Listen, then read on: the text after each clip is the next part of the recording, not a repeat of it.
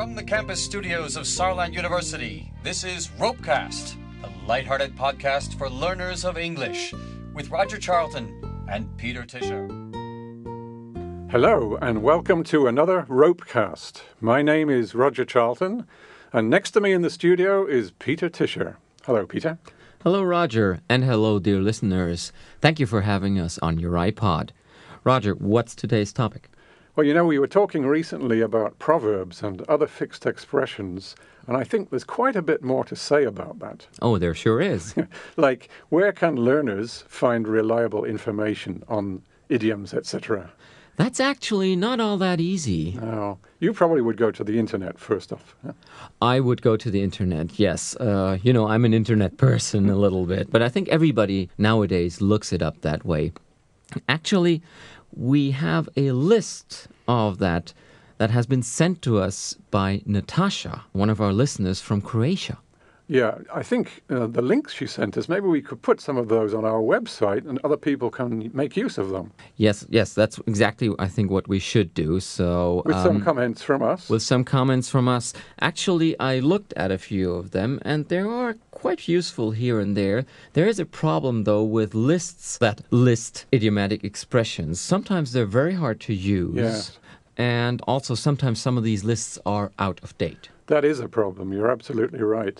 So we need information which is up to date Right, with help for the learner, like how do we use these things and such like. right. And that is where I sometimes run into problems. I, I get unsure and everything, and I'm pretty sure all of our listeners do too. Well, you know, there are books. Uh, yes, I remember books.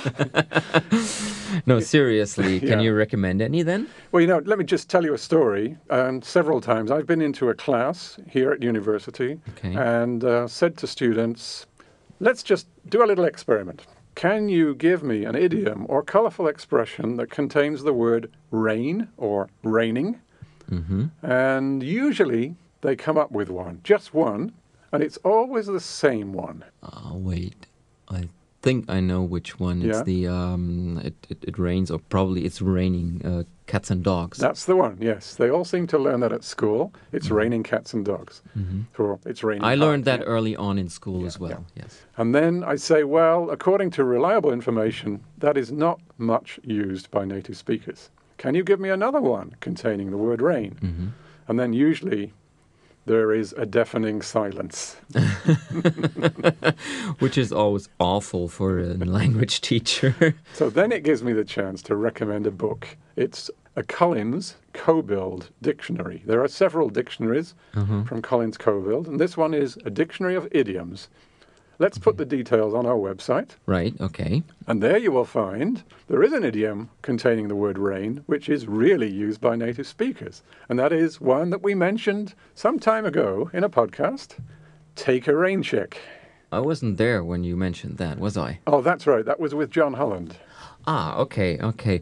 But a rain check, uh, yeah, that's a very common expression. I know that. That is, is when you postpone something, when you say, okay, let's do this some other day. That's right. Yeah, Okay.